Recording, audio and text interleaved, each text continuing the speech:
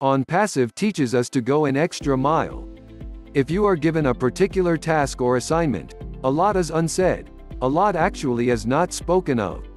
Read between the lines, go extra mile, take ownership for any particular task you have been given. And if you do that life is good. Story of Hole in Boat. One day a man was asked to paint a boat by an owner of boat. He brought with him paint and brushes and began to paint the boat a bright red, as the owner asked him. While painting, he realized there was a hole in the floor and decided to repair it. When finished painting, he received his money and left. The next day, the owner of the boat came to the painter and presented him with a nice check, much higher than the payment for painting. The painter was surprised.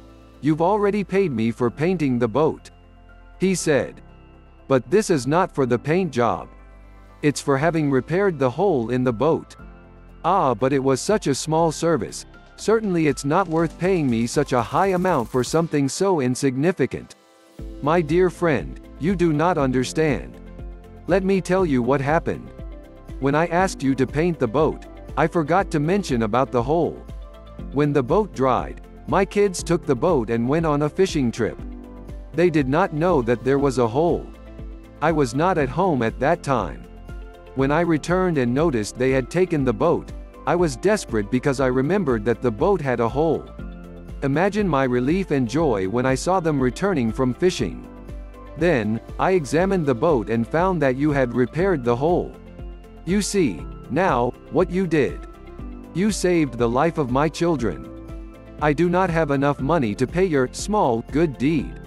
Moral of the story.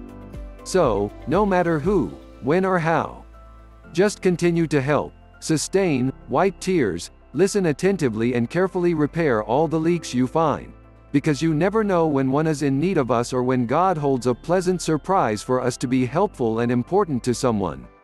Dr. Idris Modi